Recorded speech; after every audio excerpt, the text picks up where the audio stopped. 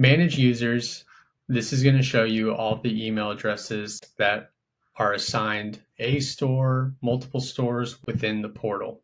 So something that's important to note is when coming here, you may find you see email addresses you are not aware of. Um, rest assured, it's very likely that they do not have access to your store. Uh, if there are multiple stores that are operating under your portal, that are operating under the business, they have access to their respective stores more than likely. Of course, there are instances where we've seen a user's email is added who is an unauthorized party. Um, if you ever have concerns, feel free to reach out to support.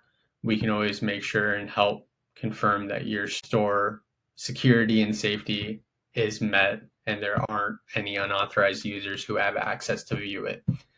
Um, the different levels of access, though, we see store operators, store managers, business admins. Uh, a store operator is going to have very low access in the merchant portal. They're basically only going to be able to see the orders tab and not any of these other tabs that you see from menu, store availability, stuff of that nature. A store manager has the ability to see all of this. And the only difference between a business admin and a store manager is a business admin has access to every single store and they don't have access to segment stores. Whereas store managers, you can either have access to all the stores or you can have access to just a few select stores that are operating under the store communications. So important alerts and uh, the performance reporting. Here you can edit the emails that are set up to receive these alerts. So important alerts are going to be such as store deactivations, you can always click the edit button to adjust the emails or add a new email address. So we can see this email is already here. You can't delete it, um, but you can add additional emails as well. And then same goes for store performance, which is going to let you know on a daily and weekly cadence how the store is performing, how many sales were generated, and so to speak, what's expected for your following deposit. Bank account tab is going to only again be visible if you are a store manager or business admin. It's going to show you the current banking on file from the banking institution and the last four digits of the routing and account numbers. You'll be able to see the business details. Both of these should show verified. If they ever don't show verified, just make sure you're coming in here and trying to edit any of the information that's needed. So under business details, for example, if we click edit here, this is where you'll be able to see your legal business name, your EIN, the last four digits that are set up.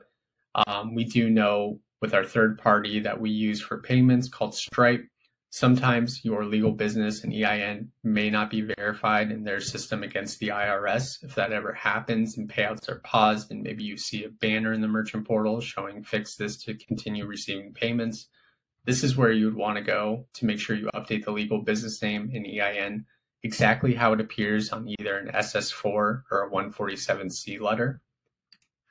Um, and then additionally, sometimes you may see that it surrounds the legal representative that's set up here. Um, it could be that their last four their social security number is required. This is where you would come here as well to update.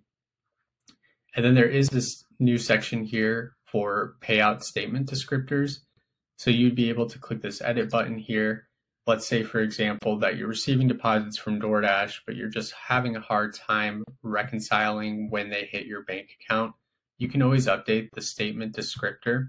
So you can put, say, for example, the store name or any indicator that will help once the payment hits your bank account for you to identify that that's the DoorDash deposit for this store. The last section to look at is going to be integrations. So if you're ever interested in integrating with a point of sale system, this is where you would want to go. Uh, there are plenty of providers here that have a get started walkthrough that you can self-serve and go through. Um, but there are other providers, of course, that don't have this self-serve feature. So if you don't ever see one of your providers listed here, just feel free to reach out to support. Uh, we can always make sure that it is a supported provider on our platform and help you get integrated so that you start receiving orders through your point of sale system. And with all of this, this has basically been the walkthrough for the merchant portal. So just want to thank everyone for your time and genuinely hope moving forward that this helps.